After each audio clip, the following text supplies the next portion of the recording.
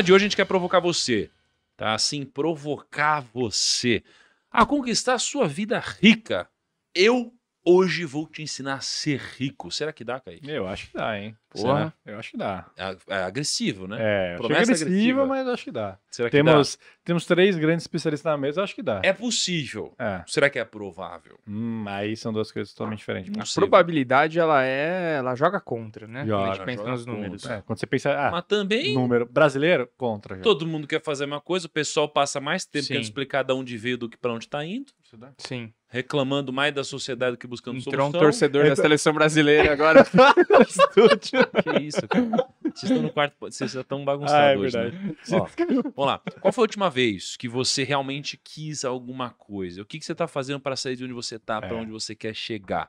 Ninguém compra de você, ninguém te enriquece porque você é ok em alguma coisa. O mundo não recompensa a mediocridade nem recompensa a média, só recompensa o excepcional. Então, você tem que encontrar aquela coisa em que você é bom, você tem que se tornar ótimo nisso. E pra te. Não, não, tá difícil, tá agressivo falar isso que eu ia falar agora. É mesmo? É. Mas como não sou eu, eu posso falar. Então, aí, para te ensinar a ser rico e muito mais, a gente está aqui com Gustavo Cerbasi, que é mestre em finanças, criador do curso de inteligência financeira, foi eleito pela revista Época um dos 100 brasileiros mais influentes, autor de 16 livros, dentre eles o best-seller Casais Inteligentes Enriquecem Juntos, que, aliás, citamos no programa de Dia dos Namorados, Citamos. agora há pouco, e como organizar sua vida financeira. Cerbasi, meu amigo, seja muito bem-vindo. É uma honra estar aqui com vocês para falar sobre aquilo que eu faço há 24 anos, que é educar para o dinheiro, para a riqueza, prosperidade. Muito bom estar com boas mentes para discutir esse assunto. Cansou já, Cerbasi? Do trabalho? Não, não dá para dizer que cansa o trabalho, porque o trabalho se renovou ao longo do tempo. É, eu comecei como professor, depois consultor, é, teve um tempo de planejador com o escritório, depois Uhum. enfatizei minha agenda para eventos, palestras. Cada uma dessas atividades foi cansando e eu fui me renovando. Eu recentemente cansei um negócio que você conhece muito bem, que é o Uhum. tal do marketing digital, esse mundo online. Cara, tô com quase 50 anos e essa intensidade que tem que ter de criação, conteúdo, engajamento, respeitar as métricas do- dos Tá algoritmos e certo, tal. Cerbasi. Eu, com três filhos adolescentes, eh, naquele momento eu sentia um cansaço me motivando a procurar outros caminhos. S- saí da linha de frente, não sou mais o one-man show, o cara que faz tudo. Estou nos bastidores hoje formando um grande time de planejadores para dar continuidade ao projeto, criar o equity no meu negócio, que era inviável com uma pessoa só. O cansaço que às vezes acontece, o, canta- o cansaço de comer fora de casa, pegar muito avião, perder eventos dos filhos, ele é recompensado pelo, pela insistente recompensa de pessoas que você conhece muito bem, todos os dias estão em contato, agradecendo, abraçando, apertando mão, parando a gente. Tá falando agora há pouco o Bruno nos bastidores aqui, cara, não tem mais situação em que eu ande na rua e que alguém não me pare e fala, pô, você é o Gustavo Cerbasi? Uhum. A pessoa não quer só agradecer e tirar foto, ela quer contar a história dela. Então, isso vai me motivando a continuar, até porque meu filho mais velho já demonstra querer continuar a minha carreira. Ah, Então, que de legal. certa cara. forma, ele já vai sendo nutrido por esse processo de recompensa. Ele já vê aí uma carreira muito valiosa, quer fazer economia, por exemplo, e a gente vê um motivo para continuar. né? Então, não é, legal, não é pelos números, não é pelo negócio apenas, mas pela possibilidade de continuar transformando vidas e, e fazer disso uma marca da família. Caramba, que legal. É porque é interessante, né? Que, vai, eu, eu acho que eu e o Perim começamos meio junto, a gente deve estar uns sete anos na internet, né? O, então a gente já começa a ouvir histórias assim. Nossa, lá atrás, aquele negócio que vocês fizeram mudou a minha vida, o casamento, não sei quem e tal. Você falou que você tá há 24 anos. 24 Então anos. você já tem histórias muito mais longas, né? Você tem ciclos de.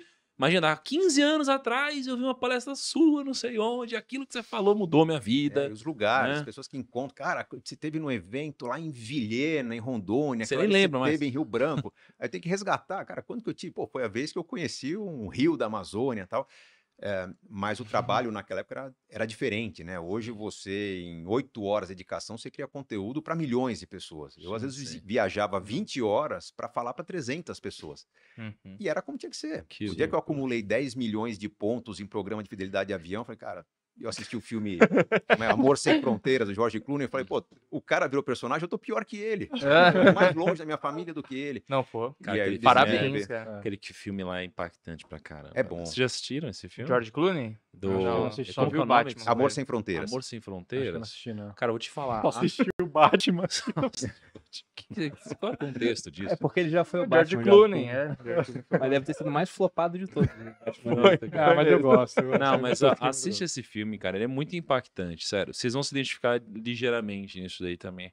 Ó, e também estamos também com o Bruno Perini, que é o criador do Você Mais Rico, professor do Viver de Renda, um dos maiores sócios do Grupo Primo, host do podcast Os Sócios e o mais novo escritor. Ah, que Seja bem-vindo. Bem-vindo ao clube.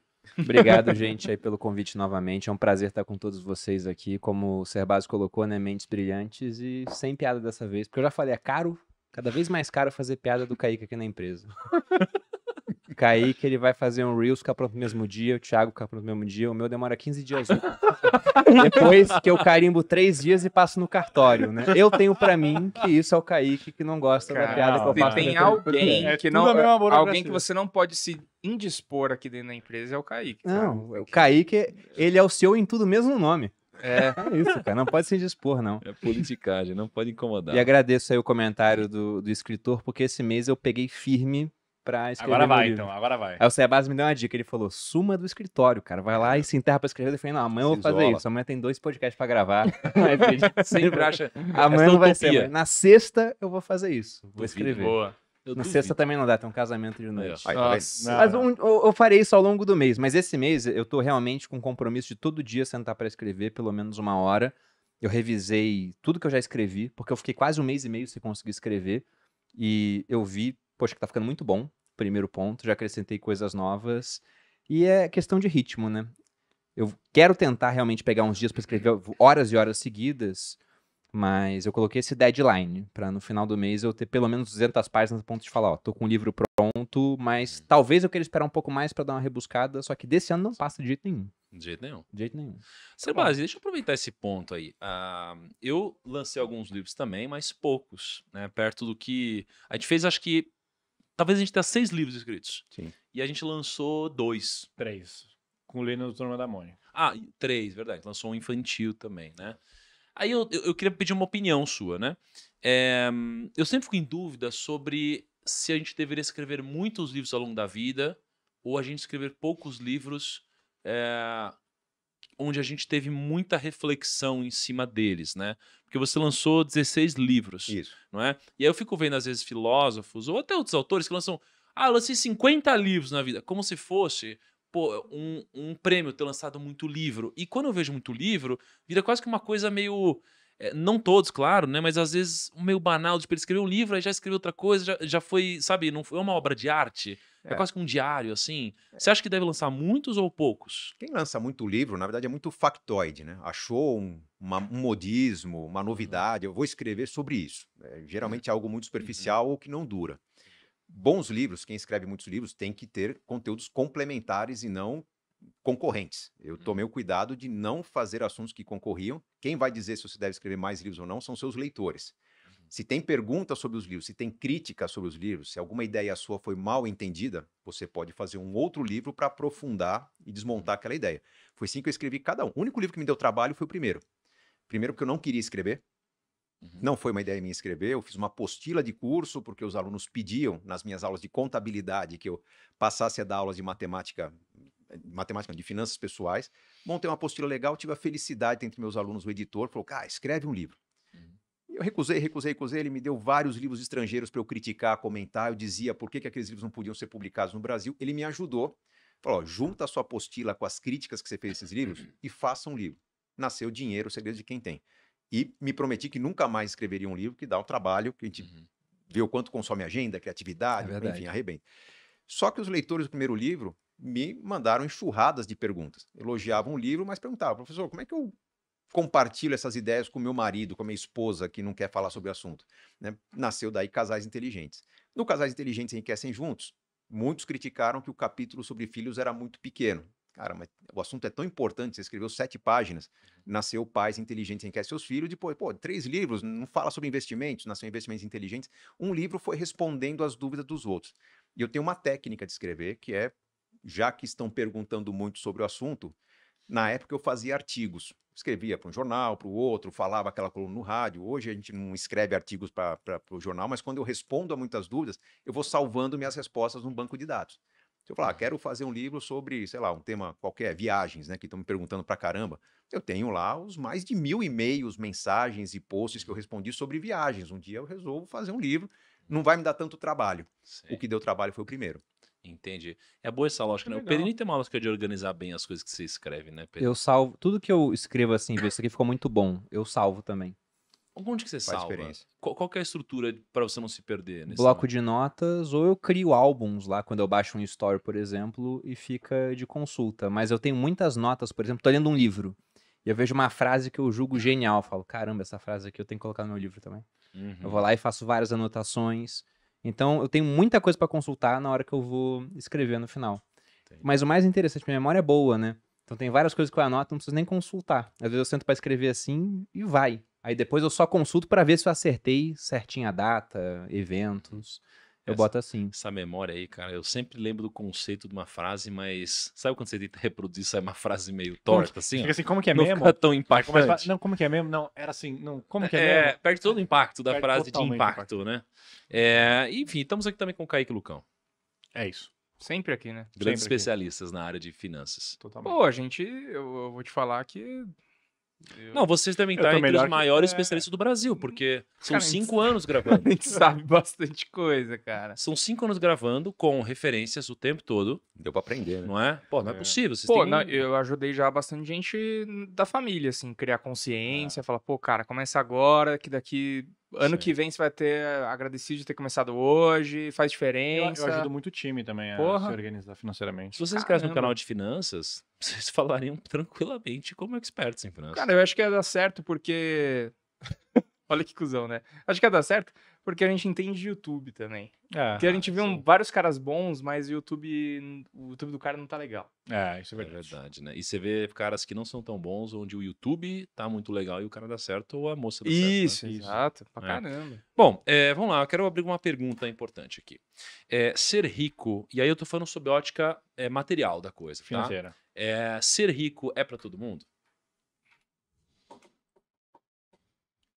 Tem ordem para responder? Não, pode ir. Por favor.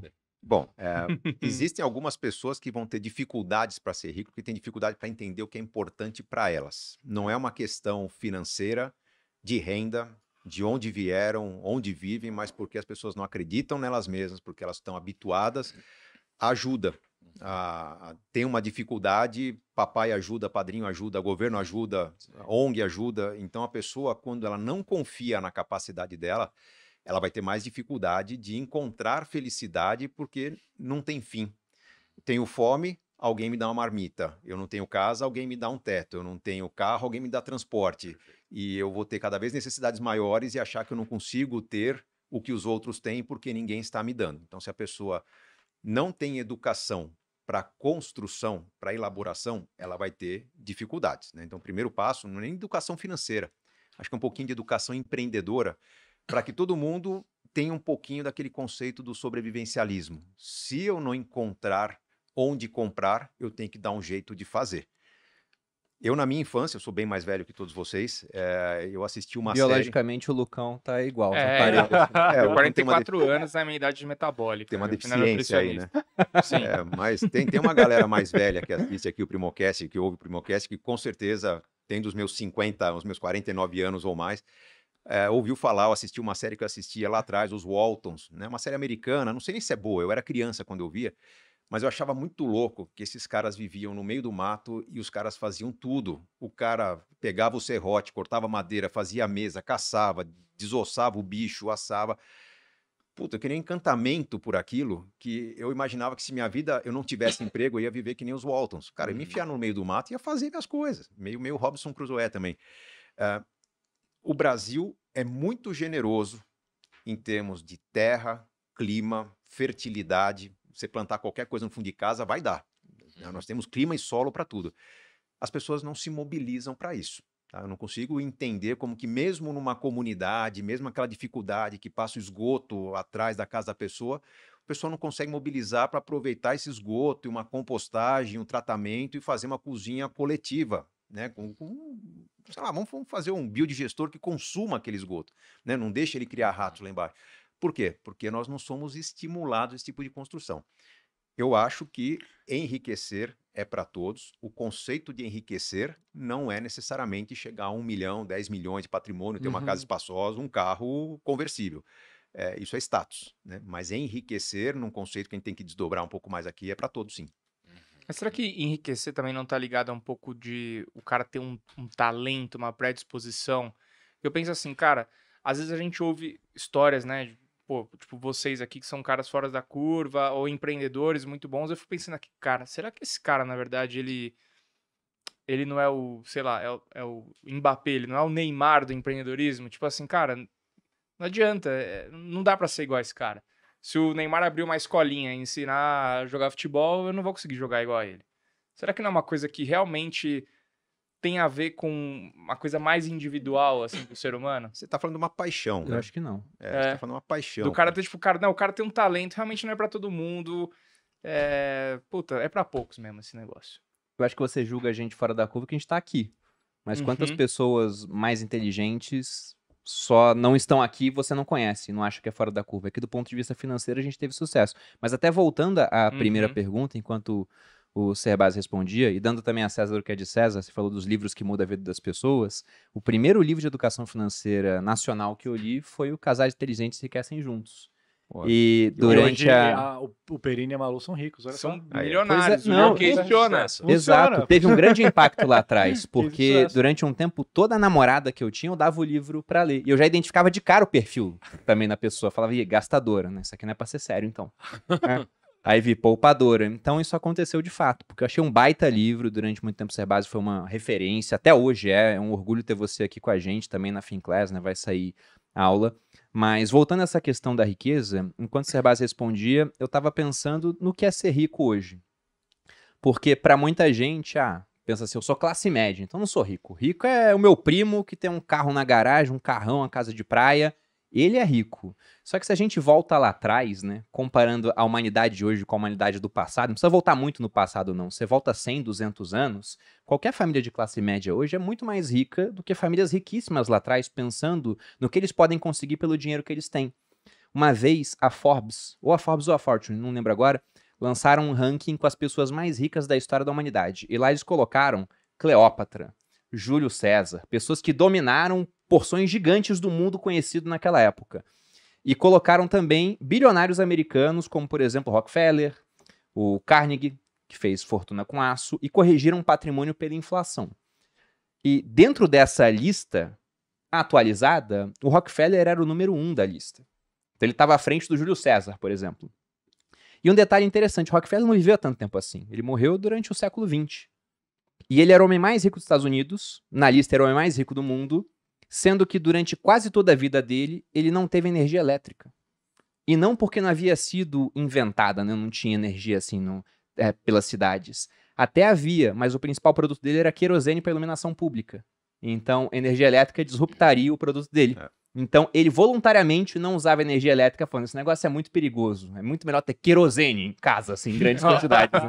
Aí, depois de um tempo, ele se deu por vencido. Ele viu: não tem como, vou começar a usar energia elétrica. Mas pensa que esse cara, ele tinha uma casa sem energia. Hoje, as pessoas, até humildes aqui no Brasil, uma grande cidade, têm energia elétrica. Ele não tinha acesso à informação que a gente tem. Na verdade, um jovem hoje, numa periferia, mas com celular e acesso à internet, tem mais informação na mão dele do que o Bill Clinton quando era presidente americano. Então, em vários aspectos, a humanidade está rica. Quanto mais para trás você volta no tempo, mais claro fica isso, pô. É. Hoje você tem muito menos gente morrendo de fome, ainda tem, infelizmente, comparado a qualquer outra época da humanidade. Talvez não a 2019, né, antes da pandemia. Mas você volta longos períodos no tempo, a gente já tá rico. Esse é o ponto. Só que riqueza você ter mais dinheiro que seu cunhado, né? É, Então mais que você o pensa, vizinho, né? Exatamente. A gente tá rico, mas a minha grama não é tão verde quanto a do meu vizinho. Agora, a gente já tá assegurando a- a- o primeiro degrau da pirâmide de Maslow, tá praticamente assegurado. Agora é, é continuar vendo o restante da pirâmide, digamos assim. É, e tem, tem um lance de entender a riqueza também, não apenas como posses, conquistas, mas sobre você ter abundância daquilo que é importante para você. É, o importante para quem vive numa grande cidade é sim ter conforto, é ter segurança, é ter um, talvez um carro que te transporte com, com, com, com, segurança, eficiência, potência. Uma pessoa do interior pode ser que prover a sua família, poder ter a certeza de, de, de ver o pôr do sol é, e não faltar nada, não ter medo de faltar saúde ao longo da vida, acho que faz uma diferença muito maior. Uh, o conceito de ser rico, é, ele é bastante relativo, depende muito de onde a pessoa está.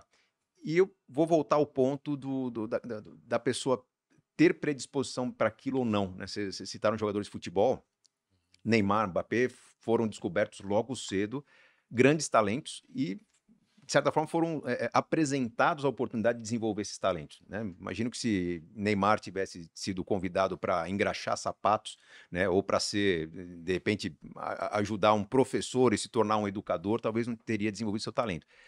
Eu me considero uma pessoa bem-sucedida, mas eu demorei a me considerar uma pessoa capaz de me tornar bem-sucedido. Eu fui tímido quando criança, eu comecei a praticar o esporte, eu não era dos melhores do meu esporte, eu cheguei ao ensino médio é, como um aluno que não se entrosava, era tímido, não conseguia participar dos grupos dos melhores alunos. O que me deu maior autoconfiança foi ter avançado no esporte. Foi a natação que me tornou um cara mais competitivo, um cara que aprendeu a fazer sacrifícios durante um certo tempo para colher resultados numa competição lá na frente. Uh, quando eu comecei a trabalhar com finanças, eu tinha a convicção de que estava no lugar errado. Não é a sensação, eu tinha a convicção. Eu era formado em administração pública, tinha vontade de atuar em marketing, talvez na área pública, sabia que levava jeito para finanças porque eu era um cara bom de matemática, física e química, mas eu me senti entre 98, que foi quando eu me formei, até mais ou menos 2004, que foi quando eu voltei do Canadá, já tinha escrito um livro, estava preparando Casais Inteligentes que Querem Juntos.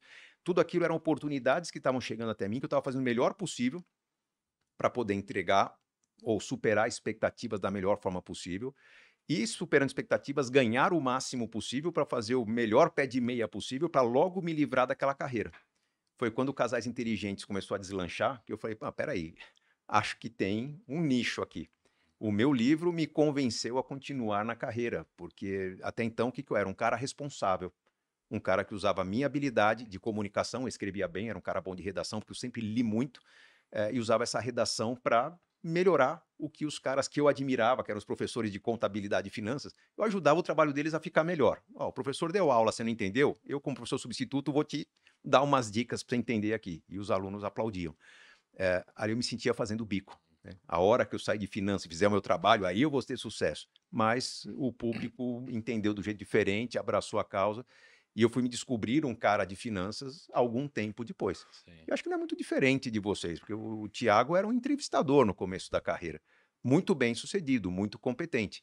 Né? Mas você conta na sua história dos tropeços que você deu ali até encontrar o caminho e usar a sua habilidade para construir valor.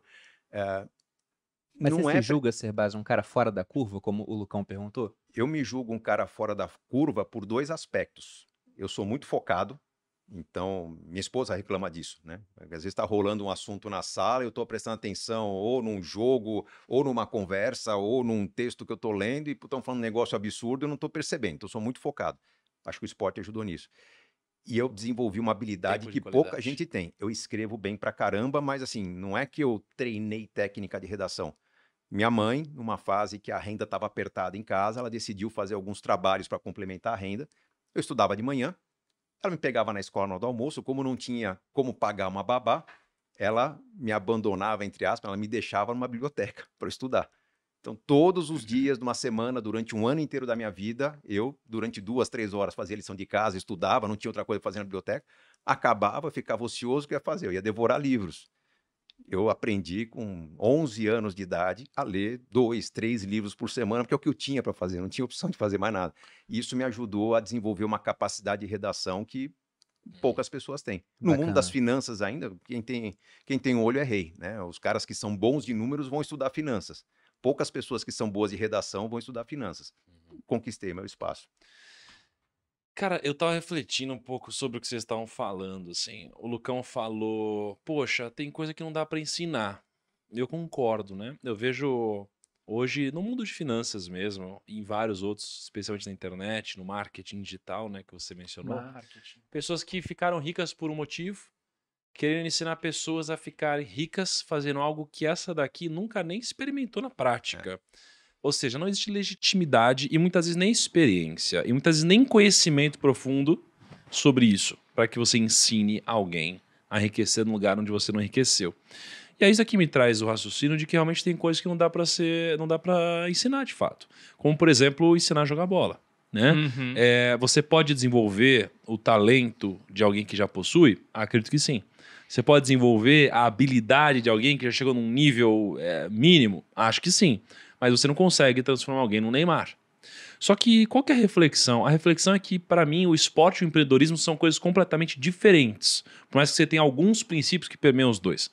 Por exemplo, não me parece inteligente você querer enriquecer através do esporte. Por mais que a gente tenha Neymars da vida, Uhum. e Cristianos Ronaldos da vida. Então, eu lembro de conversar com alguns amigos atletas e eu lembro da insatisfação é, de ser o segundo lugar. Cara, você vê um atleta que está entre os melhores do planeta inteiro e que treinou por 15, 20 anos consecutivos. Ou seja, só tem uma pessoa no meio de 8 bilhões de pessoas que é melhor que você em alguma coisa. E aí você ficou um milésimo atrás dessa pessoa que é um milésimo mais que você, um milésimo melhor. E aí você pega e você não é reconhecido por ninguém. Você não é lembrado por ninguém. Você não tem patrocínio. Você não ganha dinheiro. É, já no mundo dos negócios, o primeiro lugar ganha muito dinheiro, o segundo ganha muito dinheiro, o terceiro ganha muito dinheiro, o quarto ganha muito dinheiro, o quinto ganha muito dinheiro. Ou seja, se você tiver, cara, assim, é, num, num, num primeiro quartil aqui da sociedade, você vai ganhar muito dinheiro. Muito dinheiro. Só que o que eu penso é, já que a gente tá falando sobre enriquecimento e não sobre propósito, né?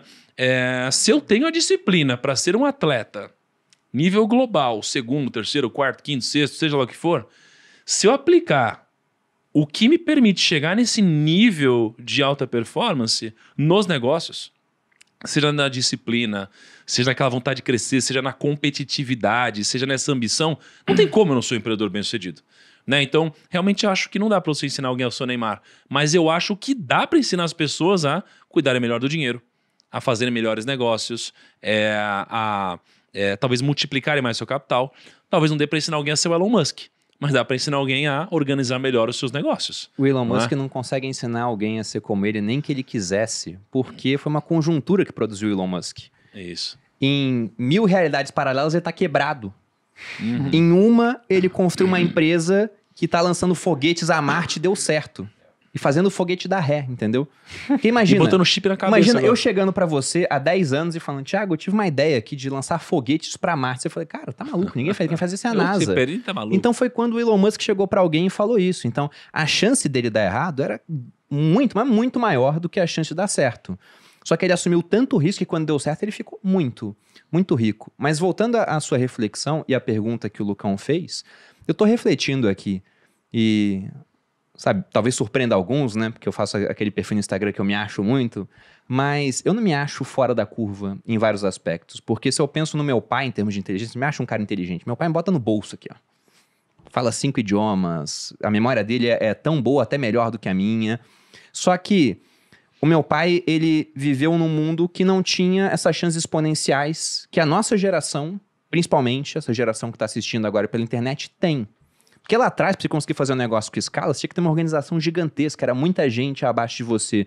Hoje em dia, uma pessoa com um celular consegue vender para mil pessoas um produto de mil reais, ela faz um milhão. Então, as ferramentas tecnológicas fazem com que as pessoas medianas hoje consigam produzir resultados que só as pessoas realmente muito fora da curva do passado conseguiam produzir. O Serbasi falou, a escala na época que ele começou era viajar para dar paz para 300 pessoas. Baita escala. Hoje, quase todo mundo que tem lá mil amigos publica um story, vai ter 300 pessoas assistindo. Então já tem muita gente assistindo. Então o que eu vejo é que, para quem quer ficar rico, você tem dois mundos. Essa é uma ideia do Nassim Taleb. Ele fala que existe o mediocristão, que é o mundo das coisas naturais, e o extremistão, que é o mundo das coisas criadas pelo homem. No mediocristão, por exemplo, você tem médias que coordenam aquele mundo. Se eu pego um grupo de mil pessoas, de homens, e faço lá a medição da altura de cada um, eu vou produzir um negócio chamado curva de Gauss. eu vou ver que eu tenho poucas pessoas abaixo de 1,60, poucas pessoas acima de 2 metros e a grande maioria oscilando em torno de 1,70. Você tem isso aqui. Se você tem lá, por exemplo, a altura dos homens e a, a quantidade, a maior parte em torno de 1,70. Agora, se eu faço a mesma coisa com o rendimento que as pessoas ganham no ano, se eu pego mil pessoas, eu não vou ter uma curva assim. Porque nessas mil pessoas eu posso ter o Guilherme Benchimol, que tem bilhão. Ele leva a curva lá para a ponta. Fica um gráfico de cauda longa. Então é outra dinâmica. Se você, por exemplo, adota uma profissão do meio cristão, o que, que é isso? Do mundo das coisas naturais. Pô, você é um cara que trabalha vendendo seu tempo, vendendo sua hora por um valor fixo. Você faz consultas, é um nutricionista, é um dentista. Você vai ter que atender mais ou menos 10 pessoas no dia.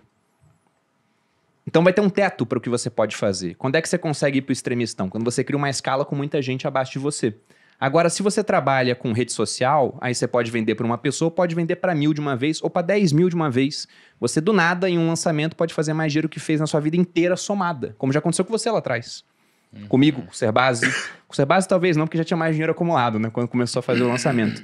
Mas são mundos diferentes, Thiago. Então, um cara que é totalmente na curva, ou até uhum. abaixo da curva, se ele tiver com a ferramenta que dê mais escala para ele, pode ter um resultado maior do que caras muito inteligentes, inteligentíssimos, mas que não usa a ferramenta para isso. É, sabe que eu tenho, eu tenho estudado muito essa questão da inteligência, até porque eu tenho três filhos, né? Além de especialista em finanças, em finanças sou especialista em reprodução humana. e três filhos muito diferentes um do outro. Um que é uma que estuda pra caramba, outro que é, tem uma vida social muito intensa, outra que ama esporte. E você fala, pô, o que, que é melhor?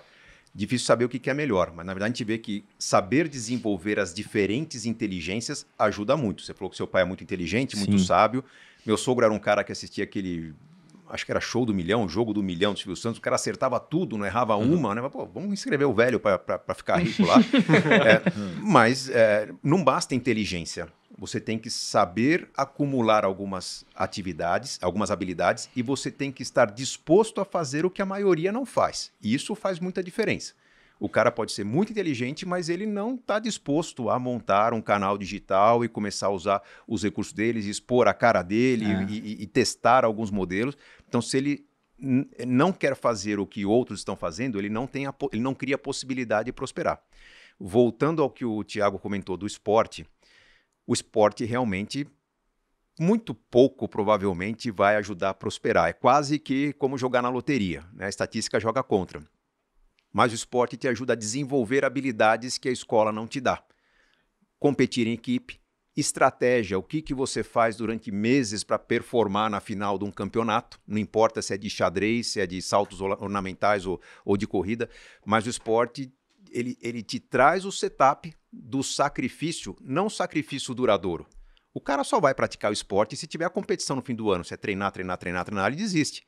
Então, eu fui velocista. Pô, Quer coisa pior que você nadar 5 km por dia para no fim do ano nadar uma prova de 50 metros, né? 22 segundos para ver se você consegue ganhar 0,1.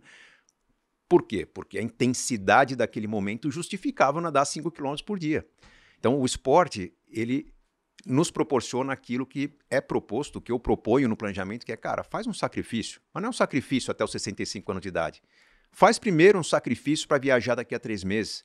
Comemorou? Faz agora um sacrifício para dar uma festa daqui a seis meses. Incorpora o hábito do sacrifício como uma gincana na sua vida, não como um sofrimento. Porque a gente vê 90% da população fazendo sacrifício porque acha que a vida tem que ser sacrificada.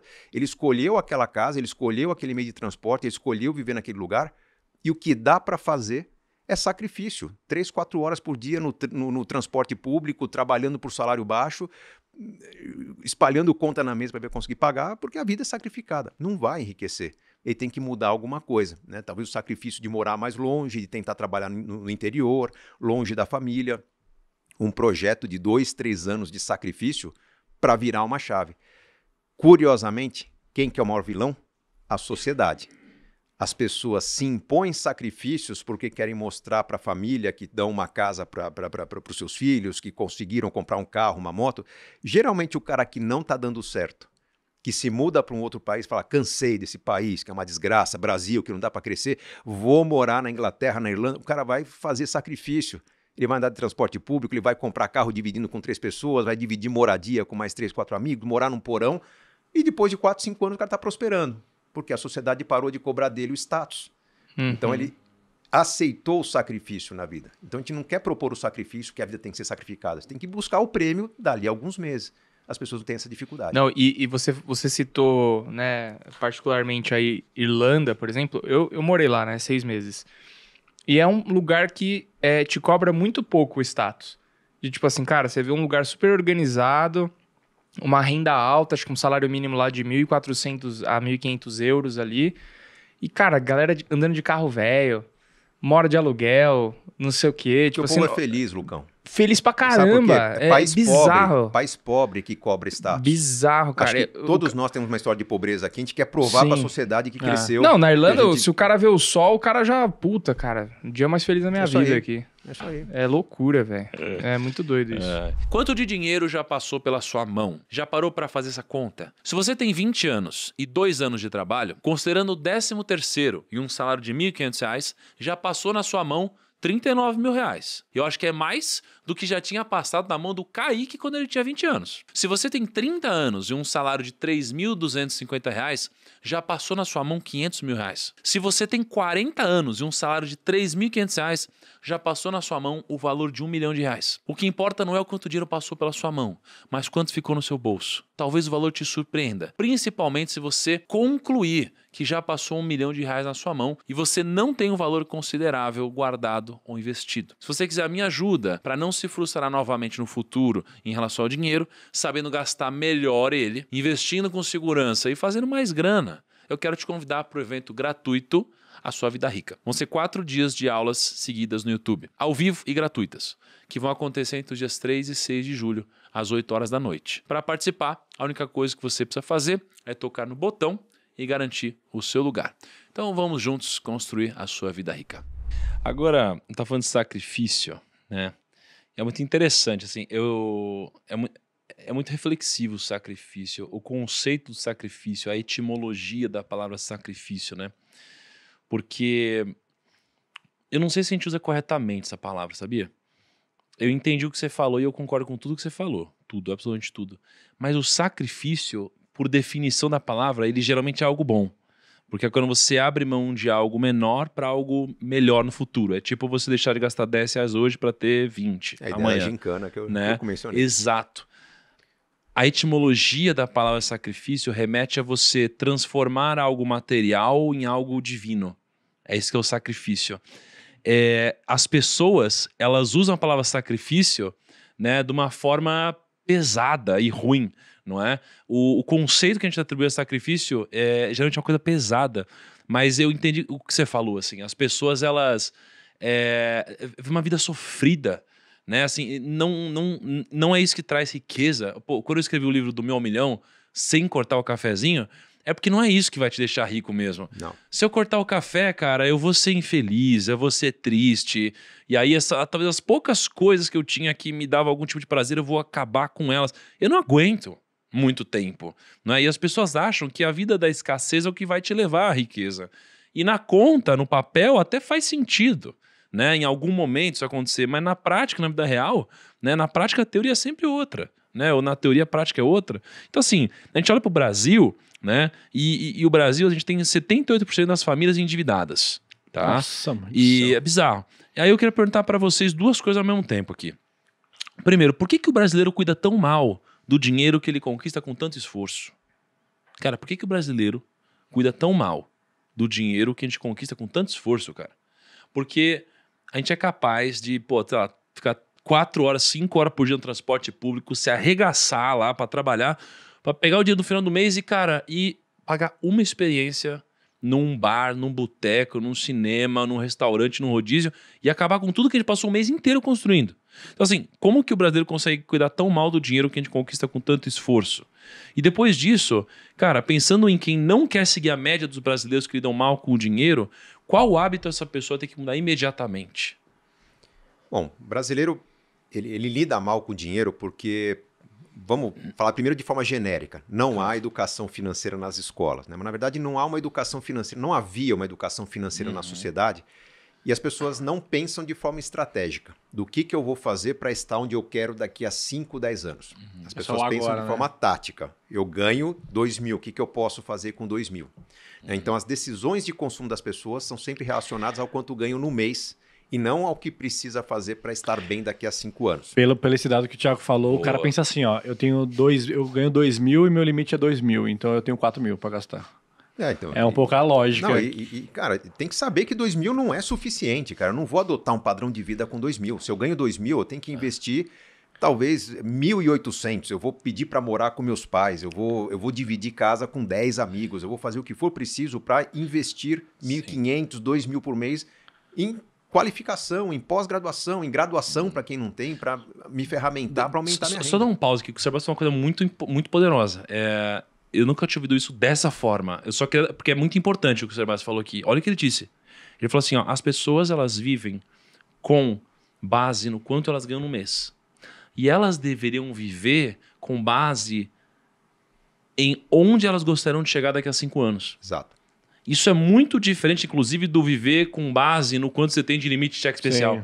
Então, essa inversão de lógica é muito positiva, porque você está olhando para o destino, né? Exatamente. Cara, isso é Mas, muito mas eu, gostei disso, eu gostei disso que ele falou também, que, tipo assim, você não aceitar que, tipo assim, cara, não vou aceitar que eu vou ganhar dois mil reais, que eu vou viver Não deve, com dois mil reais. Não deve, até porque cara. não é porque, ah, mas a minha profissão. Cara, o que, que, que você faz? Você é faxineiro? Cara, tem cara que abre empresa de limpeza. O cara que é pintor, que faz direito, e faz direito não é é caprichoso, porque ele fez um curso, não sei se é no Senai, enfim, ou ele fez um curso técnico, que tem a ferramenta certa para pintar melhor que os outros. Ele, Economiza tinta. é, ele não fez um bico. Tem muita gente que perdeu o emprego, vai fazer o bico, acha que tá fazendo legal, pinta a casa de dois amigos, né? Os amigos agradecem, ele acha que é bom, sai anunciando o trabalho dele e só vai tomar na cabeça, só vai receber metade do pagamento porque não conclui o serviço. O cara que se aperfeiçoa, que se torna um bom pintor, que adota padrão, ferramenta certa, esse cara vai ser reconhecido, indicado. Você tentar contratar o cara de novo, você não consegue, porque daqui a um pouco, um tempo ele está trabalhando para um arquiteto, está exclusivo, foi para trabalhar numa consultora. Chega uma hora que esse cara, se ele bater no teto e ver para onde não tem mais crescer, ou ele vai é, montar um negócio que ele forma pintores, ou ele vai morar fora do Brasil, ele vai fazer renda. O problema é que o brasileiro não consegue se qualificar, primeiro porque ele se ilude, ele trata o trabalho como bico, os amigos iludem também, né? contratam, não falam que ele não está legal e, enfim, passa é, como passou e- e ele vai tentar vender, não vai ser bem sucedido. E ele vai tentar lidar durante muito tempo de forma remediada com esses fracassos que ele tem, porque ele não se capacitou, não se profissionalizou para tocar o trabalho simples como tem que ser tocado. Por outro lado, se a pessoa percebe que para aumentar a renda ela tem que ter ferramenta, currículo, fazer coisas que outros não fazem, fazer de um jeito diferente, não vai faltar trabalho. É, um trabalho comum, empregado doméstico, por exemplo. Puxa, só faz limpeza? Não, se o cara tem conhecimento, se a mulher tem conhecimento de cozinha e faz uma refeição dos deuses, nossa, se eu não puder manter essa pessoa, eu vou indicar e ela vai se receber bem numa outra casa, daqui a pouco ela deixa de ser empregada doméstica e vai ser apenas cozinheira. Um upgrade. Daqui a pouco, sendo apenas cozinheira ganhando mais, ela vai fazer um curso de gastronomia, vai virar chefe de cozinha, trabalha num restaurante. É, estamos falando da pessoa desenvolver habilidades, muitas vezes, na área que ela gosta. Fazer o que se gosta. Tome muito cuidado com essa frase, né? Que fazer o que se gosta não é trabalhar com prazer. É. Não é achar que, nossa, minha vida é uma maravilha, né? Porque eu gosto de fazer massagem e vou abrir um é. spa, né? Não. Fazer o que gosta é fazer aquilo que você tem facilidade de aprender. É, se uma criança é exposta a biologia, matemática, geografia, física na escola, é para ela testar diferentes caminhos e descobrir o que ela gosta mais. Se ela tem facilidade de aprender matemática, alguma coisa na área de exatas será menos sacrificante para ela do que uma pessoa que tem que aprender do zero. Aquilo que a gente está falando do jogador de futebol, dá para chegar a ser um Neymar? Olha, ou o cara nasce nato, né, com habilidades, ou ele treina muito para chegar perto. Agora, vai treinar muito quem gosta de treinar. Se eu pegar um cara que não leva o menor jeito de futebol, treinar muito dele, ele vai tentar ser um jogador de futebol, vai sofrer pra caramba e não vai conseguir. Se ele ama aquilo, ele chega perto, ele vai fazer uma carreira. Não vai ser o Neymar, vai ganhar razoavelmente ok, mas vai ter, é, vamos dizer, uma facilidade de desenvolver aquela carreira que outros não têm. Então, um bom caminho é, presta atenção no que você gosta de fazer.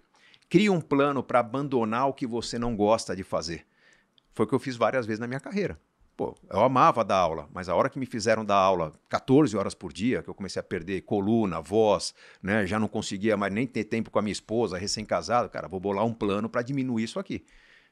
Qual que é o plano depois de ser professor? Cara, deu um jeito de me tornar palestrante, bom pra caramba, você recebe, mas passa 30, 40 horas por semana no avião.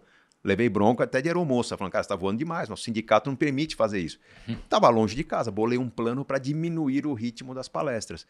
Marketing digital, mesma coisa. Tô lá em casa trabalhando, mas o tempo todo me expondo. Vou bolar um plano para me, me, me, recolher desse, desse excesso de exposição. Então, tem um plano para sair do que te incomoda. Tem um plano para avançar naquilo que é mais fácil para você. Isso vai permitir a você que, avançando no que você gosta, cara, você tem que estudar quatro horas a mais por dia, aquelas horas que os outros estão dormindo, pelo menos você gosta. Você vai ter facilidade. Já não é sacrifício. É um esforço dentro de algo que é natural para você. É, eu acho que a melhor forma de melhorar a educação do país é expor nossas crianças a mais oportunidades de experiências, de ter contato com atividades, de conversar com profissionais.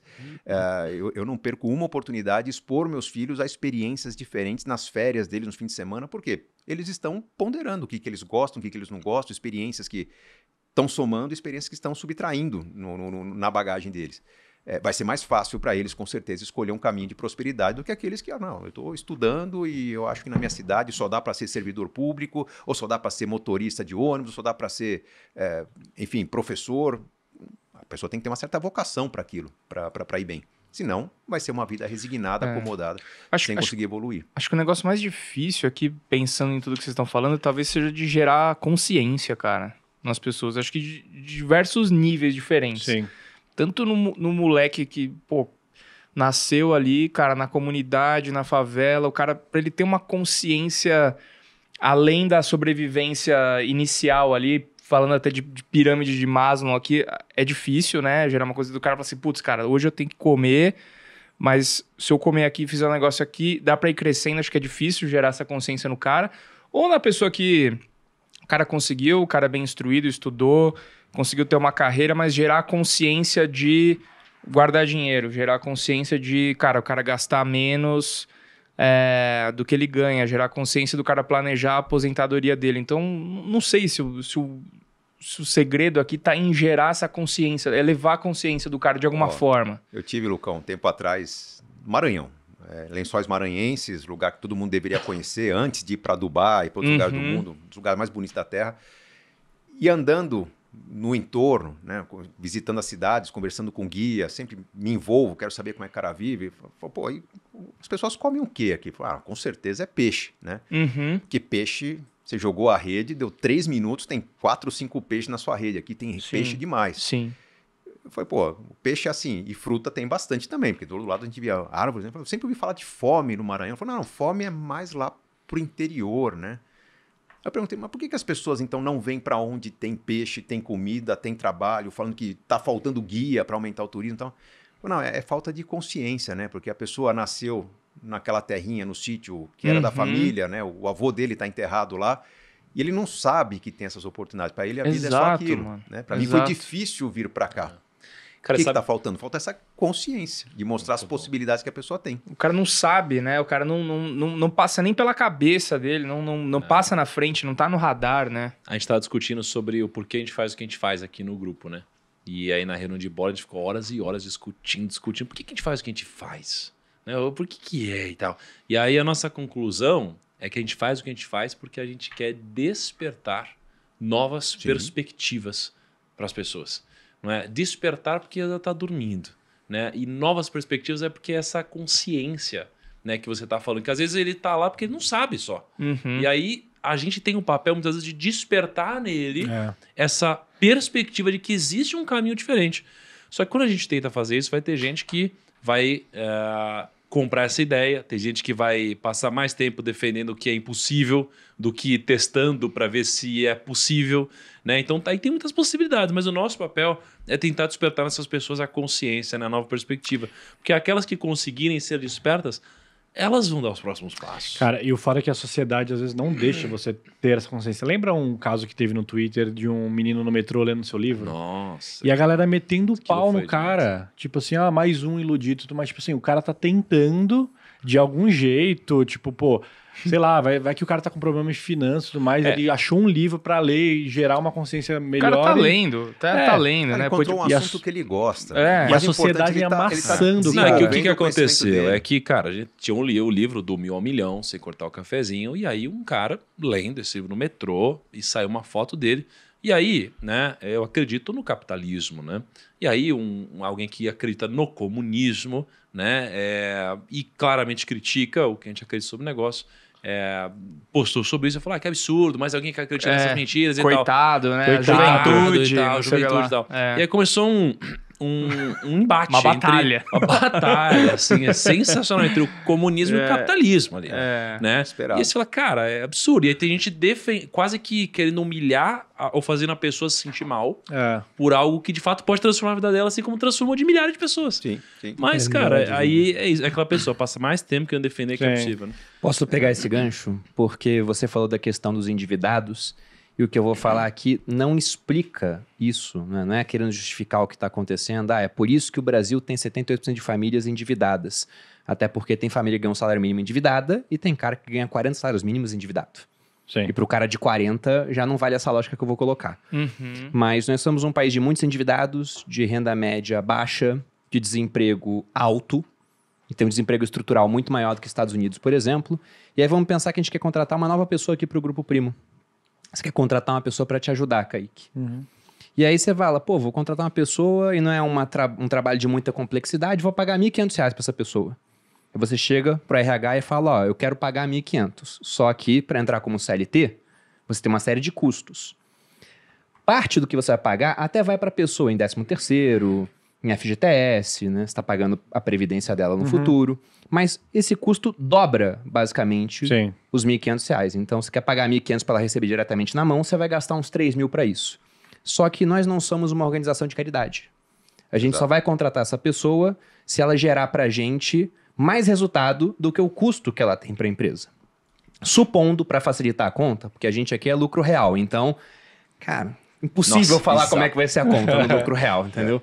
Mas se a gente fosse uma empresa do simples, que paga imposto sobre faturamento, vamos supor que a alíquota fosse de 20%. Então, essa pessoa tem que gerar um certo valor, 20% vai para o governo, depois sobra os 3 mil, dos quais ela recebe só 1.500. Então, ela teria que gerar 3.750. 750 vai para o governo, tem os 3 mil, ela pega 1.500 para poder consumir. Só que na hora que ela vai consumir, primeiro, ganhando, ganhando 3 mil brutos, já tem imposto de renda de 15%. Já toma uma pancada do imposto de renda. Depois vem imposto sobre consumo. Quer comprar carne? 30% de imposto. Feijão, 20. Arroz, 18. Quer tomar uma cachaça no fim de semana? 82. Eu sei desse imposto de cabeça porque a Malu to- é, curte uma cachaça. Tô brincando. Mas, não. mas você vai vendo, cara, então no final dos 1.500 que ela tem líquido na mão, ela vai pagar metade em imposto, sobra 750. E depois que o imposto já desmurrou ela pra caramba, aí vem a inflação e chuta a barriga. Fazendo os preços todos aumentarem, na média, né, que o IPCA é uma média, 6%. Só que o IPCA é uma média que tem lá um monte de itens que estão caindo de preço e puxando a média para baixo porque o pessoal não quer consumir. Enquanto que eles querem consumir, tá puxando a média para cima. Então, o feijão, além de ter imposto, tá subindo 15% no mês. O arroz está subindo 12%, a carne subiu 20%. Só que a carne de cordeiro, que só o rico consome, tem pouca demanda, tá caindo de preço em 5%.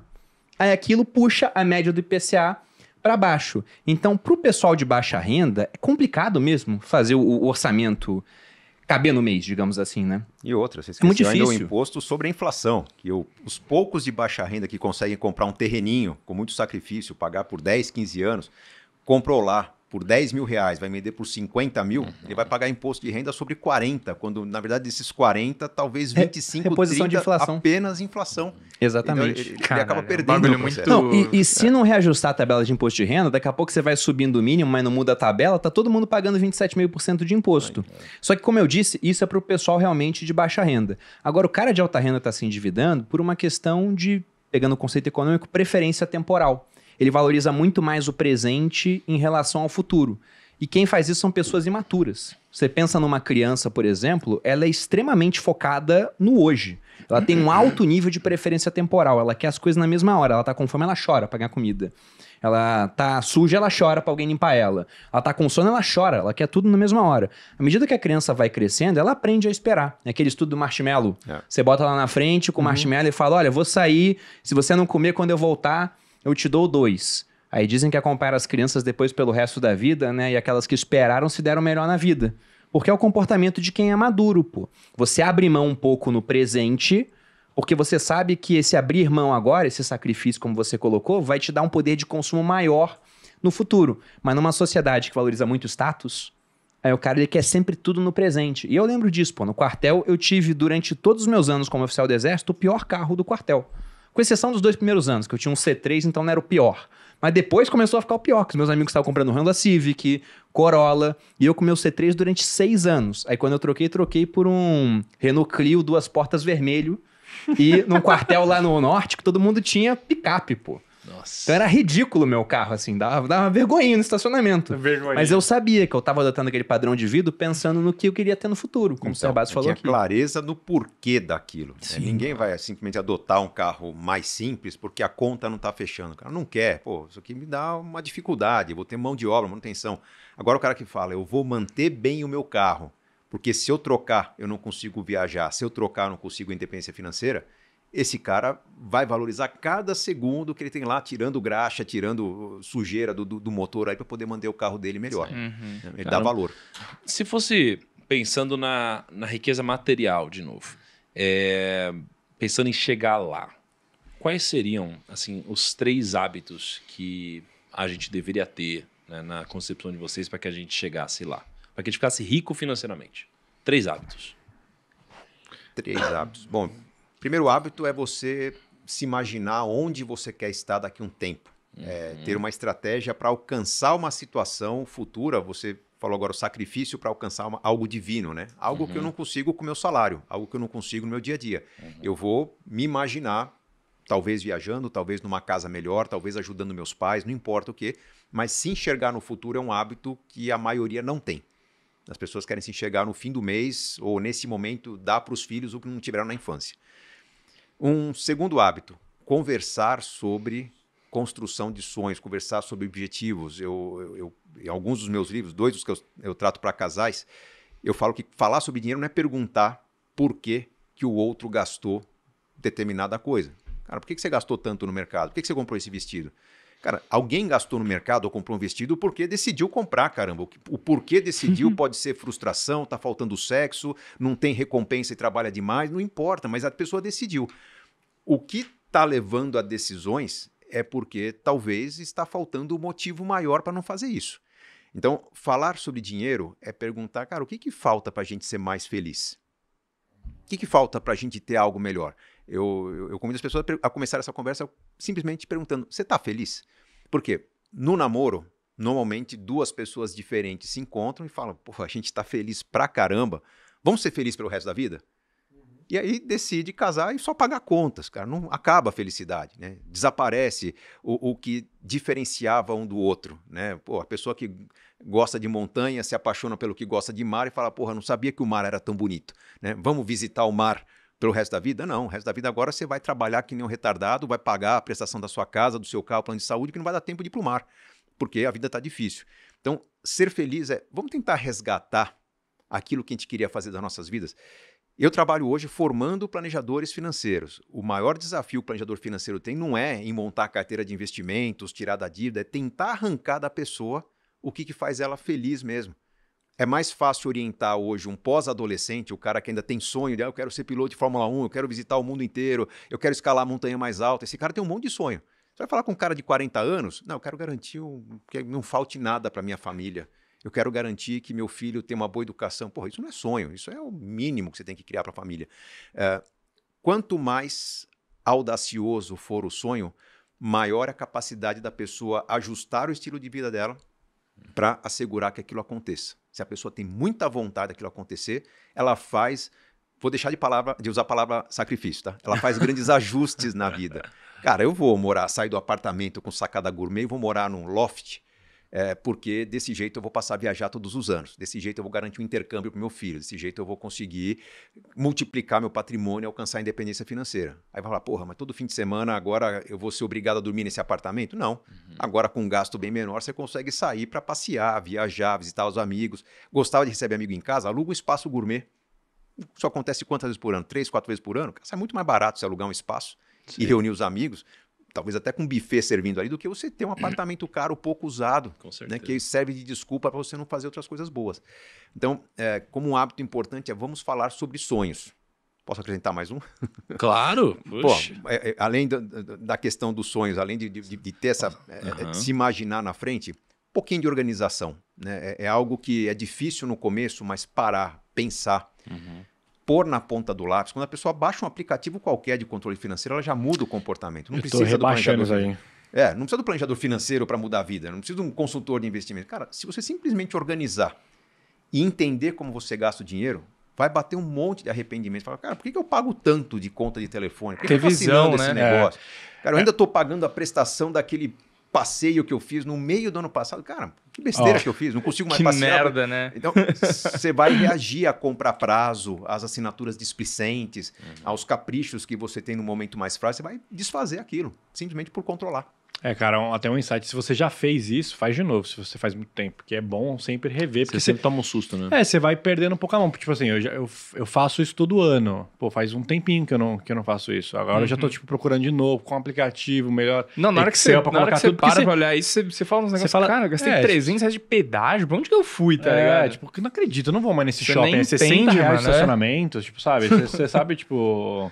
Você sabe o que você tá fazendo. E o pedágio é totalmente evitável, só passar coladinho no carro da frente, Pô, né? É, só- é igual quando a gente, a gente já pegou Uber algumas vezes, né? Em Alphaville tem um pedágio. Logo que você vai chegar aqui em, em, em Alphaville, aqui, né? A região, não sei se, se, se pega outras regiões aqui também em volta. Pega, Por exemplo, pega, pega- Rodanel pega, Rodanel pega. Beleza. Aí às vezes tem o Uber, cara, que ele, pra não pegar esse pedágio de 4,50, Ele gasta quatro- Ele faz uma volta. Ele gasta 4 litros de gasolina a mais Ele pra dar uma perde volta. 40 minutos da vida dele, sei lá. pra- Cara, pra não pagar. E o bagulho não tá. Eu fico pensando, cara, mas já não tá contando? Tá, né? geralmente tá contando. Cara, que E, e manutenção e um monte de coisa. Tempo. É, É, bizarro. Esses sei desvios lá. não compensam. Tem, Não. tem, uma, tem uma coisa que parece óbvia, mas, cara, é trabalhar e não reclamar, amigão. Tem que trabalhar muito. Sabe- sabe- não tem jeito, cara. Tipo assim, se você já nasceu desfavorecido, se você já tá numa condição que não tá favorável, nasceu, tipo, na periferia, alguma coisa, você vai ter que sim trabalhar mais do que a média, ou até muito mais do que a média. Tipo, você vai ter que trabalhar, sei lá, 18 horas por dia, 14 horas por dia. Quanto tempo a gente ficou, sei lá, uns 4 anos trabalhando 14 horas por dia, virando noite? Posso, posso corrigir, Kaique? Não é trabalhar mais, cara, é trabalhar melhor. É, pode ser. Vocês trabalharam ser, muito comparando o trabalho de vocês com o que havia de melhor. Pode e ser. superando expectativa, fazendo melhor do que já tinha no mercado. Isso vale para qualquer profissão. É, qualquer profissão. Você perguntar pro seu patrão, tá feliz, cara? Tem alguma coisa que eu posso melhorar? Questionar, né? Cara, isso te dá ah, um universo de possibilidades para você aumentar a empregabilidade, não correr o risco de perder Uhum. emprego. Uhum. né? Você está preocupado em fazer o melhor. Você pode não ser o melhor, mas, cara, me diz o que está faltando para eu correr atrás e buscar.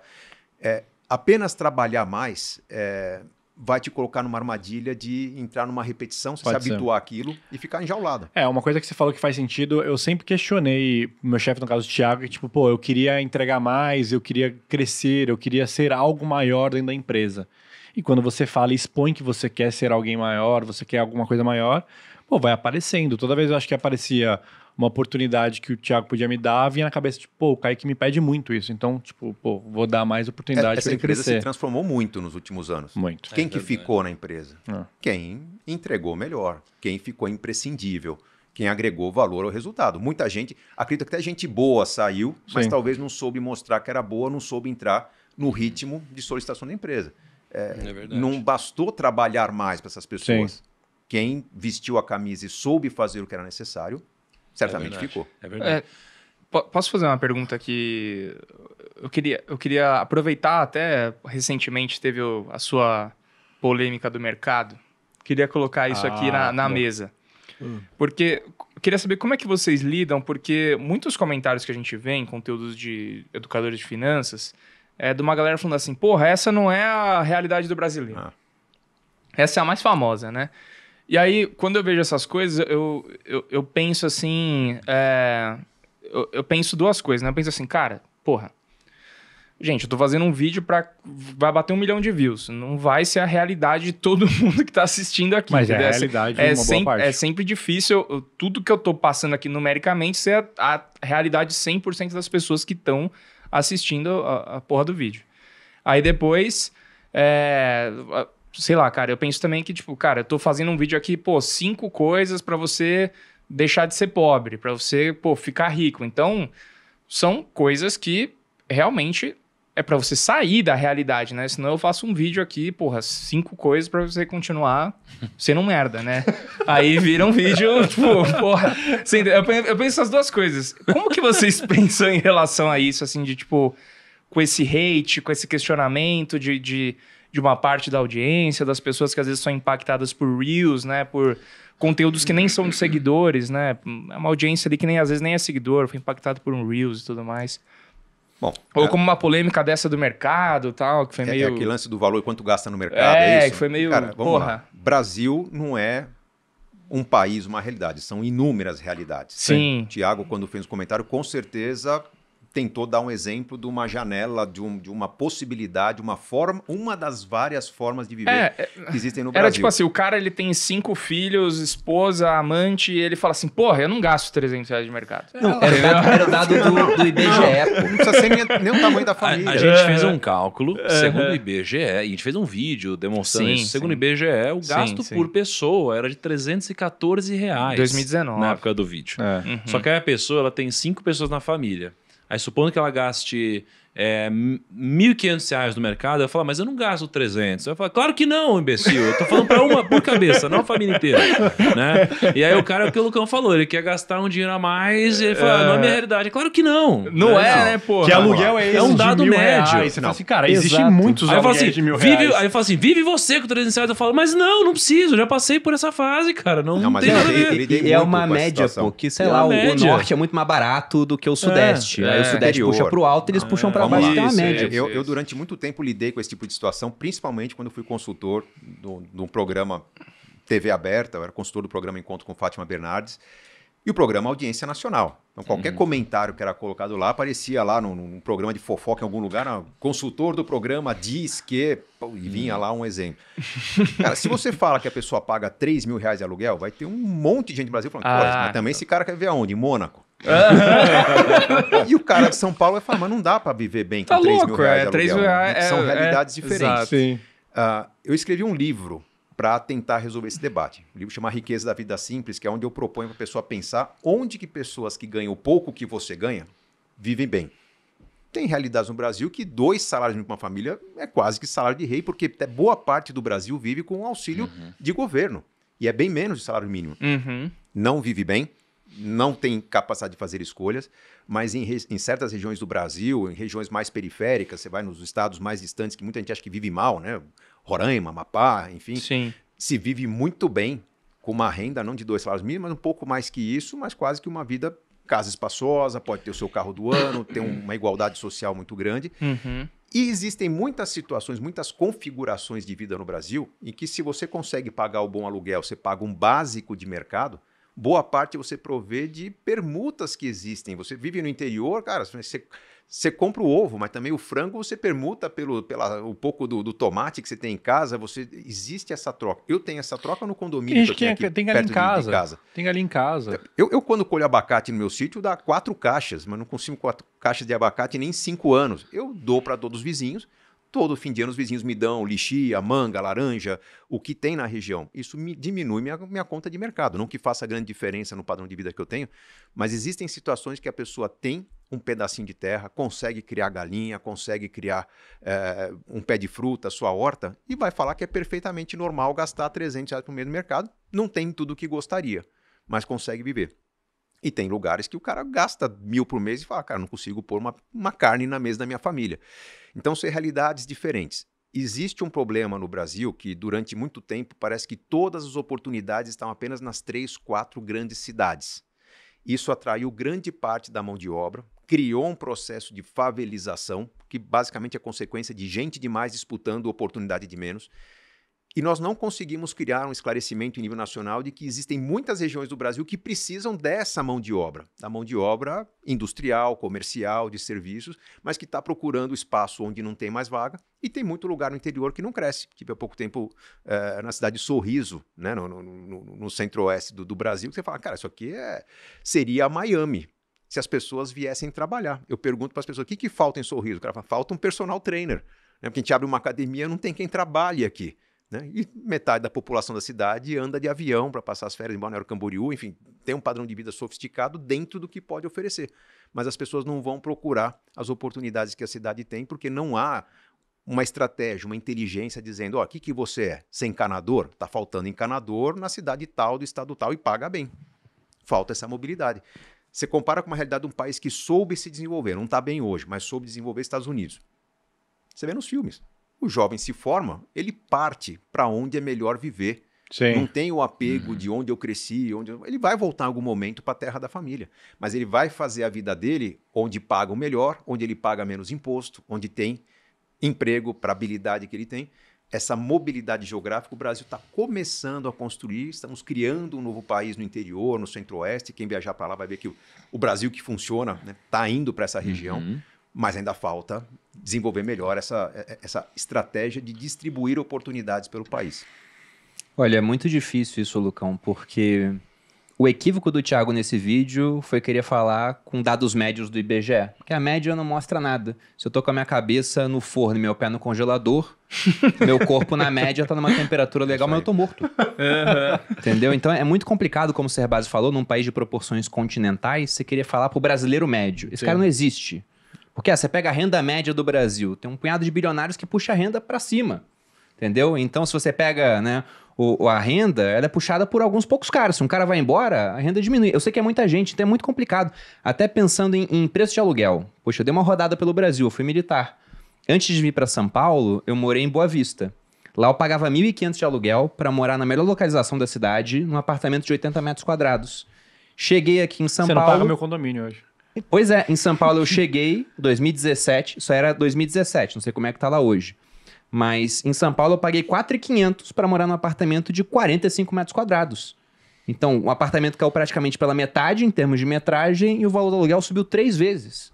Sendo que o condomínio também era mais caro, o pão de açúcar da região era muito mais caro, era o mercado gourmet que havia lá. Tal Se bem que lá, lá- cascata, né? Pois tudo é. ca- tudo é mais caro em torno daquilo que é caro. Em Roraima, até que o, o preço das coisas no mercado era caro, porque salmão chegava de avião, entendeu? Tinha umas coisas assim. Mas moradia, que é principalmente aquilo que mais impacta o orçamento de uma família, era muito, mas muito mais caro. E pensando nisso, cara, eu acho que quem tá em rede social tem que escolher o público com o qual quer falar. É que o Thiago é muito grande, cara. Você tem 5 milhões de investidores na bolsa, o Thiago tem 8,5 milhões de pessoas seguindo ele. Então é todo mundo que investe na bolsa e mais um monte de gente que não investe. Então é complicado você falar com todo esse público. E quanto maior você fica, mais fácil é darem pancada em você. É. Por mais que você tome cuidado. Tem um porque... vídeo que alcança um milhão de pessoas, basta mil pessoas insatisfeitas para fazer um Mil ca- estrago. é. E, e são caras que não vão se identificar. E aquele negócio, né? O Thiago é um cara muito educado. Educadíssimo, É, pô. você Se tem 10 o primo é pessoas aqui É, em é volta. bem, pois muito é, do pô. bem. Se tem Namorar 10 todo pessoas aqui em volta do Thiago e o Thiago sabe, ah, aquela pessoa ali, pô, Thiago, ela não gosta que você use tal termo. Ele não vai usar. É, Porque ele não quer ofender aquela pessoa.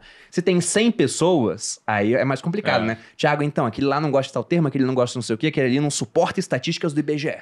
Então, ele ainda consegue se comportar. Agora, quando tem mil, dez mil, um milhão, você pode falar, É. ah, vai ter um cara, ué, mas por que ele não falou, ó, fascista, né? Como é que ele faz isso? Entendeu? Então não dá, cara. É um jogo de número. Depois de um tempo, poxa, não tem como você agradar todo mundo. Infelizmente, né? Eu acho curioso quando surge um comentário nos meus posts, o cara falando, pô, mas eu não ouço mais esse cara porque ele é comunista. Eu queria saber onde que a pessoa, o que que ela viu de referência para achar que eu sou comunista, esquerdista. Cara, não tem como. Quem, quem defende ah, soluções próprias, independência, liberdade, não tem como abraçar outra causa. né? Mas tem gente que critica o meu trabalho por achar que eu sou esquerdista. Não sei se porque associa um programa de televisão que eu estava, algum comentário, ou simplesmente porque eu elogiei uma, uma prática de governo. Todo governo tem atos bons e ruins. A pessoa acha que simplesmente eu assumo uma causa por É. um comentário.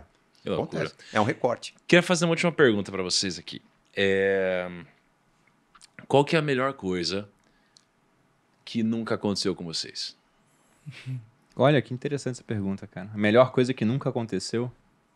Mas que poderia ter acontecido. Eu já vi um historiador falando que era o Neil Ferguson, falando que o principal evento do século XX foi não ter ocorrido uma terceira guerra mundial. Hum. Que esse foi o principal, porque a gente chegou em vários momentos muito, mas muito, muito, muito perto. Se eu for pensar na minha vida, cara, até sobre aquela questão dos hábitos, né? Uma coisa que eu tava pensando é que, poxa, disciplina é muito bom, buscar o conhecimento, Uhum. porque a vida que você não tem hoje pode ser resultado de alguma coisa que você não sabe, você tem que aprender, ou que você sabe, né? mas não faz. Aí você não tem disciplina pra fazer. Mas eu acho que aquilo que, que é mais importante é você focar em uma área que realmente pode mudar a sua vida em termos exponenciais, né? Que foi produzir conteúdo. Isso mudou pra caramba a minha vida.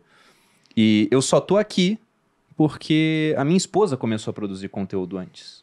Aí quando ela teve sucesso, eu pensei, poxa, será que eu consigo ter um pouquinho do sucesso que ela teve? Minha cabeça é, se mil pessoas comprarem algo de mil reais, eu fiz um milhão.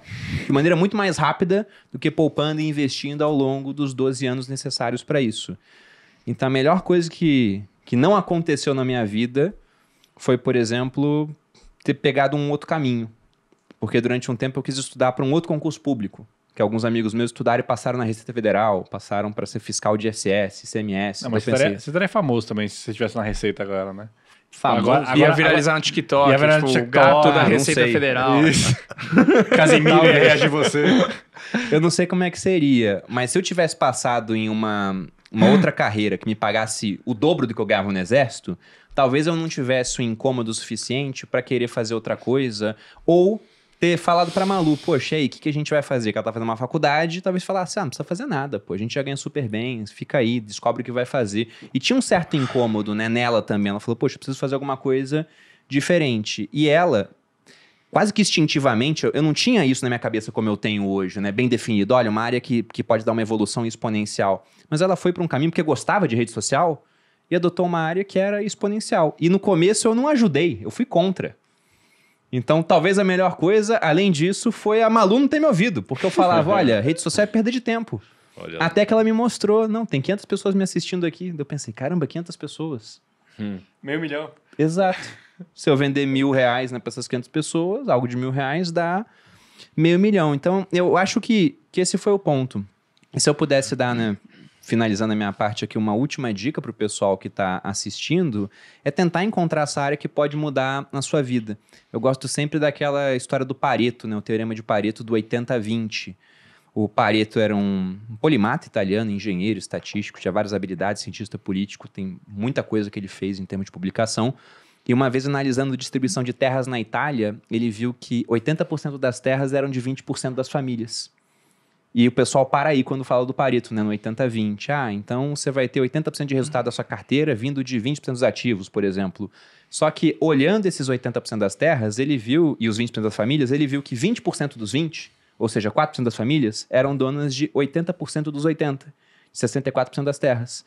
E novamente ele foi ver que havia um punhado de famílias pequeno, 20 desses 4, 0,8, que eram donos de praticamente 51% da Itália. E a mesma coisa vale para mim hoje. Então, eu sempre fico pensando, né, o que, que é mais importante que eu faça? E nada é mais importante para a empresa, por exemplo, do que eu estar em frente a uma câmera. Isso que é a minha contribuição exponencial para a empresa. O Thiago é a mesma coisa, pô. A gente teve aquela discussão no ano passado, né, de, poxa, o Thiago tem que ser o CEO, não tem que ser. E hoje a gente tem um co-CEO do lado do Thiago para que ele possa ser mais influenciador. Porque nada é mais rentável para a empresa do que o Thiago em frente a uma câmera. Então, as pessoas têm que pensar nisso também. O que, que é o mais importante que você pode fazer para tentar acelerar a sua mudança de vida, para ficar rico? Muito bom, Pedro. Seria isso. Seus raciocínios são sempre excelentes, cara. Muito bom. Muito bom, Pedro. Isso é muito foda. Você é sempre perspicaz nas observações, Thiago. Parabéns. É um bom observador, né? E você, E Cerbado? você? Cara, sabe, talvez uma das perguntas mais difíceis que me foram colocadas. Minha vida teve muitos reveses, muitas situações em que eu me aventurei. Eu comecei a dar aula sendo tímido, então me expondo para os leões. Minhas primeiras aulas eu era um cara de 27 anos dando aula para alunos de 35. Né? Então eu sofria bullying dos meus alunos. É, então eu diria que muita coisa ruim aconteceu na minha vida, mas eu fui muito resiliente. Eu soube lidar, eu soube administrar, eu soube descansar depois, eu soube colher alguma coisa. Um pouco eh, do que o Ray Dalio coloca no livro dele, Princípios, lá que, pô, eh, quando você dá um passo muito ousado, tenha certeza que você está aumentando muito a chance de errar. Mas espere colher o melhor desse erro. Aprenda uma lição para dar um passo mais ousado ainda na próxima.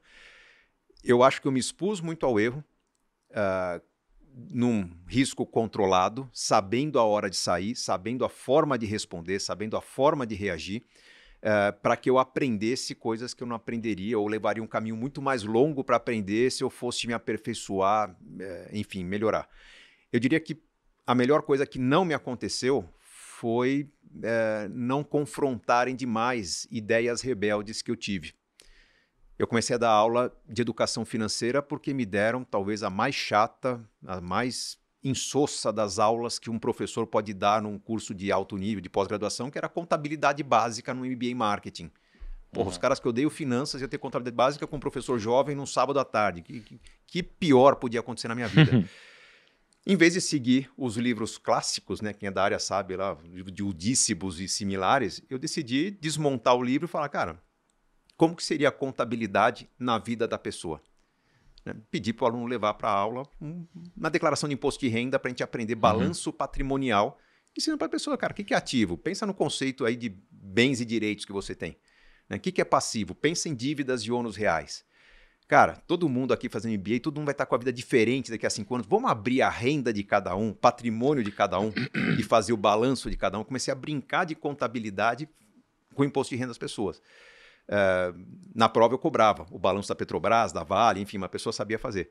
Eu acho que se um professor de contabilidade me visse fazendo aquilo, eu ia falar, cara, varre esse moleque daqui, que ele está Uhum. ensinando contabilidade de um jeito que não tem nada a ver com o Estranho. livro, não está seguindo a bibliografia, a ementa do curso. Eu deixei de seguir ementas de curso e, e- e, de certa forma, não me confrontaram. Se aquilo acontecesse naquele momento, eu seria um professor de contabilidade, nada contra a contabilidade, mas não teria aberto as fronteiras que eu abri no meu trabalho.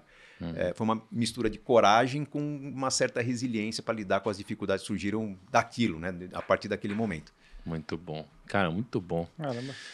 Muito bom, né, cara? Ser base, Perini. E aí? Tem ensinamento final? aqui. Ensinamento final do primo? Não, cara, eu tô só aprendendo com hoje. só aprendendo. Acho Pô, que... parece que você gravou quatro primocasts Que hoje. isso, cara? Não, hoje cansado? tá, cara, eu tô posição de aluno. Bom, Tá bom, bom. bom, bom. Gostei muito. Mas o que marcou muito foi o que o Sermais falou, cara, que as pessoas não deveriam viver com base no quanto elas ganham hoje, mas sim com base em aonde elas gostariam de estar daqui a 5 anos. Forte, ou 10 anos. forte. Eu gostei ou disso aí. 20 anos. Gostei né? também do tipo, você não tem que aceitar a viver com dois mil reais por mês. É, Ninguém não, deve animal. aceitar. E aí o problema das reflexões do Perini é que eu gostei também, mas assim, eu não vou conseguir reproduzir agora. São É. tantos dados do IBGE, são tantas reflexões. Fala de uma forma tão frases, bonita, né? Filósofo, Tudo se encaixa que vai também. ficar difícil agora. Uma brincadeira. É, pessoal, como faz para encontrar vocês nas redes sociais? Ah, tô. Minhas redes sociais, Gustavo Cerbasi, as redes que eu mais Uhum. gosto, YouTube, Instagram. Hoje eu sou sócio da Super Rico, que é um serviço gratuito, a pessoa se cadastra, tem acesso às ferramentas. Se quiser contratar o seu planejador, está lá acessível, está à disposição. Ah, e estou trabalhando pesado aí para aprofundar a carreira de planejador financeiro. Quem tiver interesse de atuar como planejador financeiro, ah, temos aí uma boa, boa frente de crescimento, trabalho, renda, para trabalhar junto com a gente também. Muito bom. E você, Perini, como faz para te encontrar? Cara? Vocês me encontram no Instagram Bruno underline Perini, no canal do YouTube Você Mais Rico, tem vídeo toda segunda, quarta e sábado. E no podcast Sócio, semanalmente, a gente está lá com episódios novos com a temática de empreendedorismo, falando de negócio, produtividade, de finanças. Então Caramba. estamos sempre lá. Três vídeos na semana, Perinão? Três vídeos. Três? Caramba, velho. Caramba. Caraca. Como eu falei pra Produtor vocês, nada é mais rentável do que me botar em frente a uma câmera. Eu tô levando isso bem a sério. Não, eu tô será achando que pouco. sábado... Ah, tá achando pouco? Três? Semana tem sete dias, tem sete porra. dias, velho. ainda- Pô, mas ainda tem podcast ainda, pô. Duas horas de conteúdo. Mas será que- e será que- stories todo dia. Será que Todo domingo é trabalhar, um dia pô. Bom também? Quê? Domingo não é um dia bom também? Domingo é o dia de aula do Viver de Renda, né? eu tô brincando, Perini. Tô, tá animal. Meu tempo tá full bucket aqui. Agora, agora é legal, né? Pensar que, pô, ó, o Serbas fez um trabalho com planejadores financeiros para incentivar bastante os planejadores. A gente está fazendo um trabalho com consultores também, que Caraca. muitos também são planejadores. Eu acho que a gente vai acabar mudando muito, cara, o mercado do que ele veio até aqui, né? Porque você tinha os gerentes, você Uhum. viraram os assessores, agora você tem os planejadores, você tem os consultores. Acho que talvez Tá nos melhorando, próximos- né? próxima década a gente participe de um movimento de transformação puta, muito legal no Brasil, Tiago, né, o fruto do nosso trabalho, nós nessa mesa que contribuímos muito para isso, está fazendo o investimento, a cultura financeira crescerem no Brasil. Isso está trazendo eficiência para o mercado. Mercado eficiente diminui as possibilidades de você ter ganhos muito diferenciados. Onde Uhum. você vai encontrar a diferenciação? Quando você individualiza. Uhum. Aí ganham valor profissões como consultor de investimentos, planejador financeiro, carreiras que estão amadurecendo e devem se tornar as carreiras mais desejadas, mais brilhantes aí nos próximos anos no Brasil. Pô, muito bom. Bom, então é isso aí. Um grande abraço, até o nosso próximo episódio e tchau.